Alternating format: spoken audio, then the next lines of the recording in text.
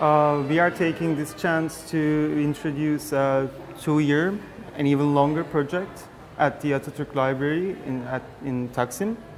And uh, we're inviting more um, designers, architects, urban planners, um, librarians, librarians, citizens.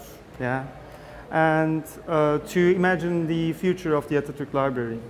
Um, and we are in a time that the information gathering and exchange is changing very rapidly. And this is also a time where libraries are um, rethinking, rethinking uh, their roles in the society. So we are um, encouraging um, the Atatürk Library and other stakeholders to do that with us.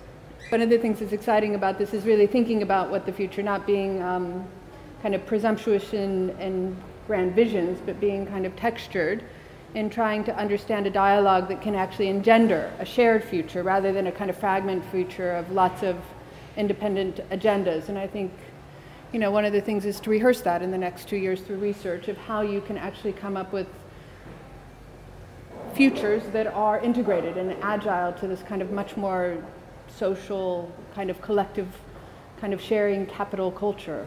Um, so I think this is also an interesting rehearsal looking at a real important civic mm-hmm. institution um, and how that can be a, a, vehicle for new dialogue. It's very important and um, we appreciate it very much that the biennial takes this, uh, takes this journey with us uh, to, and we'll be hopefully presenting what our research leads in the third biennial.